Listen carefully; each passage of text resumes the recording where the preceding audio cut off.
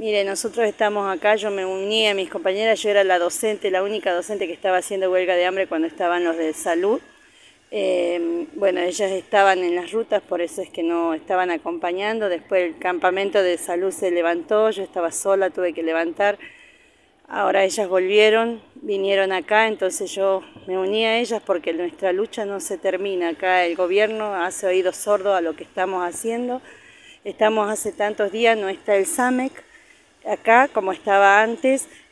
los medios, disculpe usted, gracias a Dios está acá, pero los medios más grandes que se escuchan, que se ven acá en Salta, pasan de largo como si no nos vieran. Nosotros le pedimos a ellos que nos, que nos hagan la nota, no hicieron este, dijeron, no, no, ustedes no van a salir, como que el gobierno quiere tapar todo esto porque no quiere dar solución a este problema. Yo no sé dónde está el señor Canepa, el señor Deep Ayur, el señor gobernador. Nosotros necesitamos esta, esta solución para nuestros problemas. No nos gusta estar acá, pero es la única medida que tenemos nosotros por lo menos de lucharla desde acá.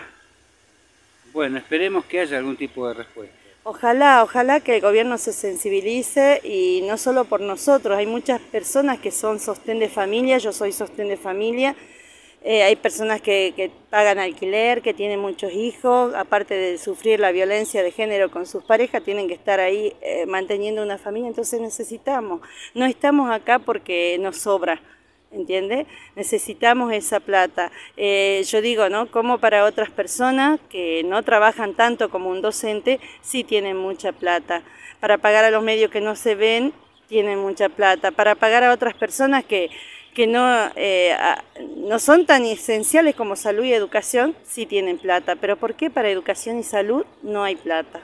Eso es lo que me pregunto yo, ¿no? No sé, no sé qué, valores o qué, qué criterios tiene el gobierno para medir eso, esos parámetros, ¿no?